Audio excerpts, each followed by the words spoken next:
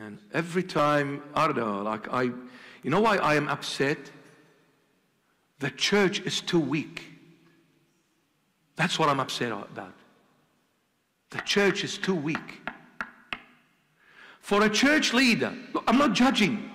I will, I will kiss every church leader's feet. Please don't get me wrong. But for a church leader to come and support this evil agenda, now that I cannot fathom.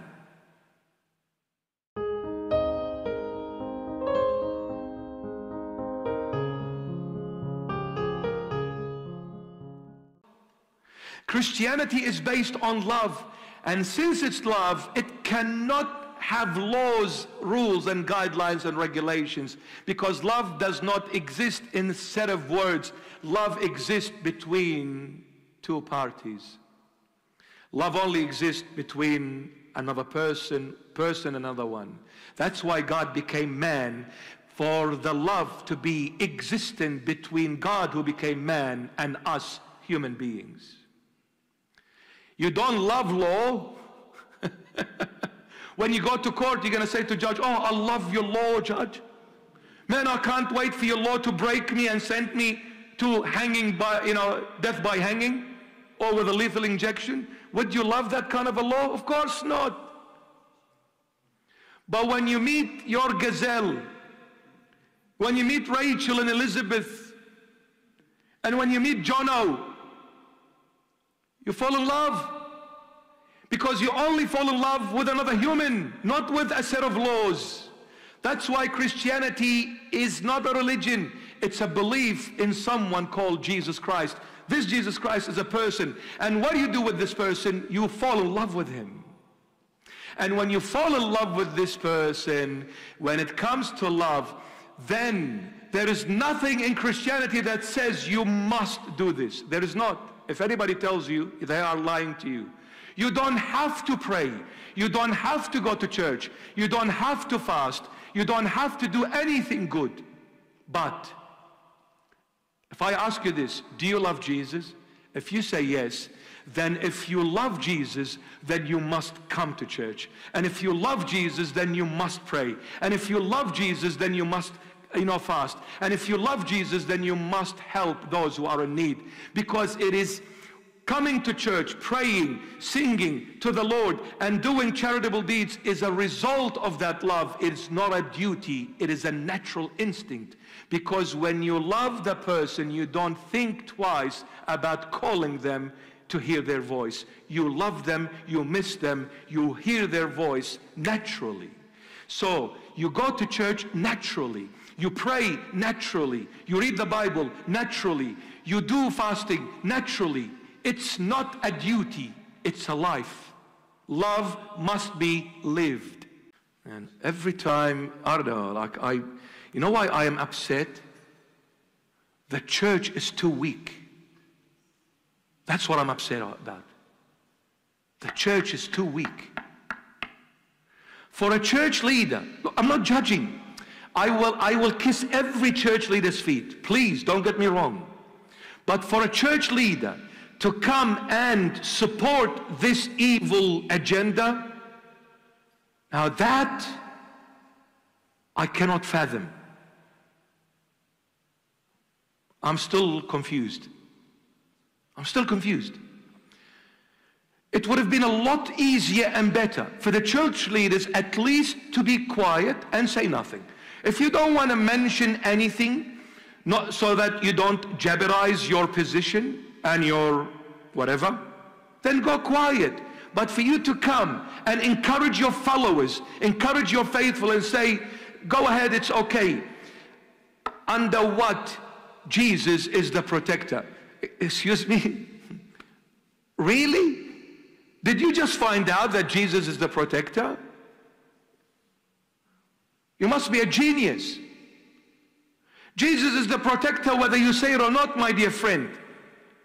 And you, you shouldn't even mention that because if you haven't found out that Jesus is the protector by now, forget about finding out because it's too late now.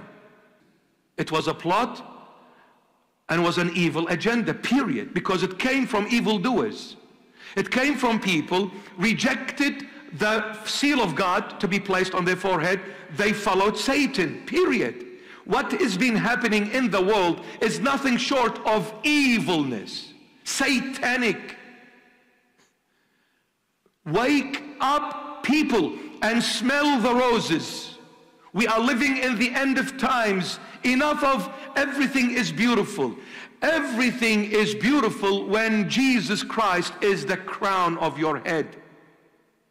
Regardless what the world is going through. Don't worry about the world. But if you do not have Jesus Christ as your Lord, as your God, the world is nothing but chasing Satan and doing what Satan wants. The Lord Jesus is crying out to his children my love for you is perfect, and my knowledge for you is perfect. The day that came, you broke my word, you broke my heart. You see, as one church father put it so eloquently, he said, the greater, the greater the knowledge is, the greater the love is. And the greater the love is, the greater the knowledge is. But the greater the love and knowledge are, the greater the suffering is. What leads to love is knowledge. I cannot claim to love someone I do not know. I can only love someone that I know. So what leads to love is knowledge. Without knowledge, there is no love. You can only love the one you came to know. You cannot love someone you do not know. So the greater the knowledge, the greater the love is. But the greater the love is, the greater the knowledge is. The more I came to know the person, the more I began to love the person. And the more I began to love the person, the more I became to know the person. But the more I loved him or her, and the more I knew that person and loved that person, the more I suffered. Suffering is only made possible where there is love and knowledge. If I don't know the person, I don't love the person, I'm not going to be hurt from that person if he says something painful. Who breaks you? The closest person ever to you. And who makes you the closest person ever to you? Are you worried about a stranger? Not. They can yell at me. They can tell me off. They're strangers. Who cares? But when my sweetheart stabs me in the heart with a nasty word, I am shattered.